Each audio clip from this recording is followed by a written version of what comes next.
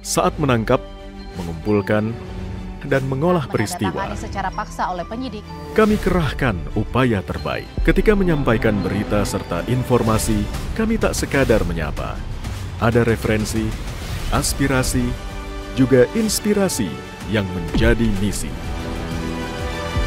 Sapa Indonesia di Kompas TV. Independen, terpercaya.